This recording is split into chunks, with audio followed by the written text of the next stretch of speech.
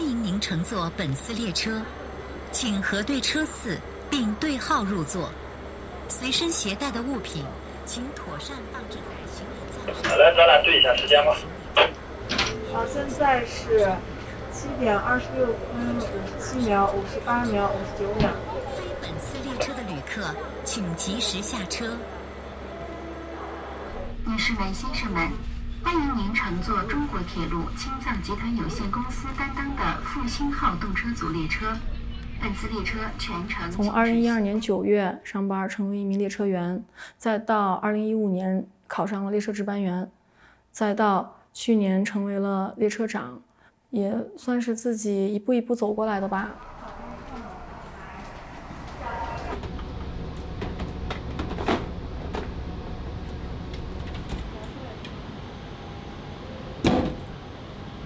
我作为一名列车长，每天最繁忙的时候还是早上，因为我们早上的话要去呃仓库领取备品，然后到上车整备，保证在开车前，嗯是有一个呃完成的。六二七四三三收到。嗯，核对个时间。送八九八一列车长时间七点二十五分四十八秒、四十九秒、五十秒。我们这个商品八架四架。技术完了了，广州那不错。我们中国展览消费者的车有公司。嗯，像这次来是第一次走动车，嗯，还是嗯肯定是跟以前有很大的不一样。我们现在是拉零五组，现在我们一共是一长六员嘛，我也是刚带他们才半个月。我们就是一共在西宁要工作十五天，嗯，这十五天里面我们是嗯直乘两天，学习一天，然后回到西宁我们还可以休息十五天，因为他们最小的一个年龄才刚二十岁嘛，然后年龄大的一个也就才二十五岁。像刚上班的一些生疏呀，和跟旅客打交道的时候的一些，就是害羞啊这样子，肯定还是会有的。像我一二年刚上班的时候，那会儿刚大学毕业嘛，刚来到了这个工作岗位上，也是有一些迷茫的，但是我觉得慢慢磨砺下来的话，都会成为优秀的乘务员的。我来拉林铁路之前，看过一些拉林铁路建设的宣传片。许多的这种铁路的设计者和建设者付出了我们常人难以想象的困难。川藏铁路的西线工程要比东线复杂得多，高海拔、大落差、雪崩、滑坡、岩爆等脆弱的生态环境，多达上百种的复杂地质状况，是铁路工程建设史上极少遇到或从来没有遇到的难题。我当时看见一个场景是有一个工人，他是插着氧气瓶。就是插着氧气管，背着氧气瓶在修路，我很受感动。嗯，我觉得比起他们来说，啊，我们这个真的不算什么。一般的话都是坐客车，以前走老路要七八个小时，然后现在高铁通了之后，我看这个时刻表是三个小时，感觉还还挺不错的。拉萨去林芝的路上，第一次见到这个高原的，就是河流还是那个湖泊，景色有多美啊！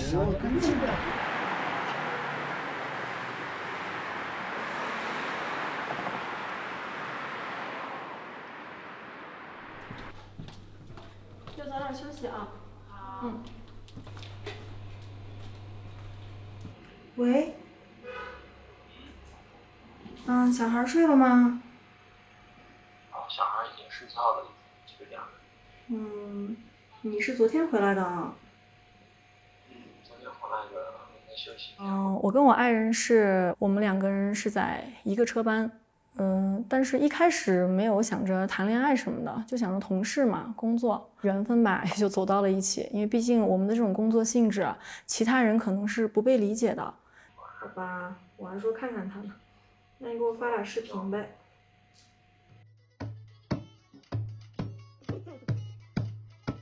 嗯，我现在孩子嗯四岁多了，嗯已经上幼儿园了。他知道我俩的工作性质，他会说爸爸走车了，然后他也会跟我说妈妈你明天就走了，你过几天回来。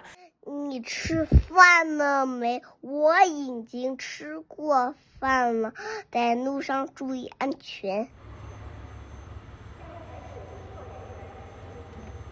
我觉得我一直在坚持，也一直在努力，不管是乘务员还是值班员还是列车长。就像我之前说的吧，每一个人的工作都不容易，每一个人的工作有都有自己的闪光点，所以这个是呃咱们这个社会吧，也是需要各行各业的人去共同组成咱们现在的这个社会大家庭。我觉得我既然已经选择了这个工作，我肯定是把它干下去的。因为我从一二年九月上班到现在也九年了嘛。我觉得工作这个东西还是需要自己去理解。因为作为车长的话，责任也很大，也需要自己去很好的完成自己的工作。还是那句话吧，我觉得没有一个工作是那么容易的，也没有一个工作是家庭和工作都能两全的。如果谁都想着去干一些轻松的工作呀，这样子的话，那辛苦辛苦的这些工作谁来做？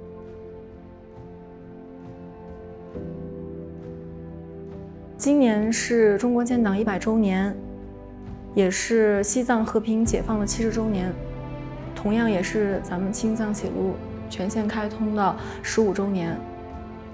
所以拉林铁路的建设对于我们每一个人来说都是意义重大的。当时反正有一个旅客，我正好在门口嘛，挺感慨的，说原来开车需要好多小时 才能过来，说现在哎呀一个多小时就能到，确实很方便。有一句话就是要想富先修路嘛，所以像咱们青藏铁路全线开通这十五年，对拉萨这面的影响还是很大的，像经济水平包括旅游，肯定是有带动的。包括现在的这个拉林铁路的开通，嗯，肯定就更上一层楼了。